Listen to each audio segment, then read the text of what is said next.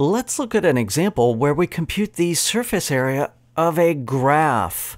Let's say that we have a graph that is given in terms of the equation z is a function of x and y. So x and y live in some region in the xy plane, and then I have this graph in the z variable. Now, in this case, parametrizing the surface is really obvious. We can use the simple parameterization where g of s and t is simply s and then t, and then z as a function of s and t. It's kind of pedantic to use s and t variables for this. Why not just use the old x and y variables that we had. So let's say that g is a function of x and y, and it takes x and y to x and then y, and then z as a function of x and y. That's a simple parameterization. To get the surface area element, we have to take the derivative of g. That is, the partial with respect to x, and then the partial with respect to y. The partial of g with respect to x is 1, 0, and then partial z partial x. The partial of g with respect to y is 0 and 1, and then partial z partial y.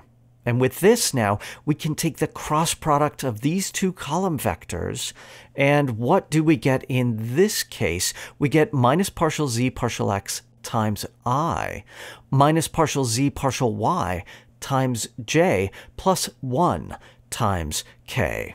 To get the surface area element, d sigma, we take the square root of the sums of squares of these components.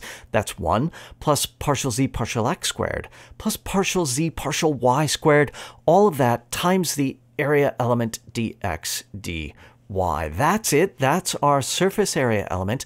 Perhaps this reminds you of something back from single variable calculus when you did, say, a surface of revolution. Maybe think about that a little bit.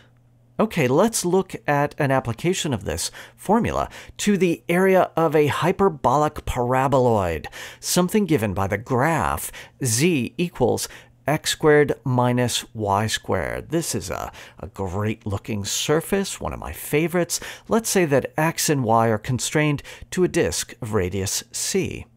The surface area element is the square root of 1 plus partial z partial x squared plus partial z partial y squared dx dy. In this case, partial z partial x is 2x, partial z partial y is minus 2y. That gives d sigma as square root of 1 plus 4x squared plus 4y squared dx dy. So now all we have to do is integrate this over the disk in the xy plane of radius c. This is really clearly calling out for polar coordinates. If I use the fact that r squared is x squared plus y squared, then my integrand is square root of 1 plus 4r squared times r dr d theta, as r goes from 0 to c, and theta goes from 0 to 2 pi. Now, to integrate this, it's pretty clear we should do a u substitution with u equals 1 plus 4r squared, and du equals 8r dr. My new integrand is going to be 1 eighth square root of u du d theta. Now, since there's no thetas involved, I can integrate out the theta first. That gives me theta over 8 from 0 to 2 pi. Then, when I integrate u to the 1 half du, I get u to the 3 halves, all times 2 thirds. I substitute back in u equals 1 plus 4r squared, and then evaluate that as r goes from 0 to c. This gives me, with some algebra, a final answer of pi over 6 times quantity 1 plus 4c squared to the 3 halves.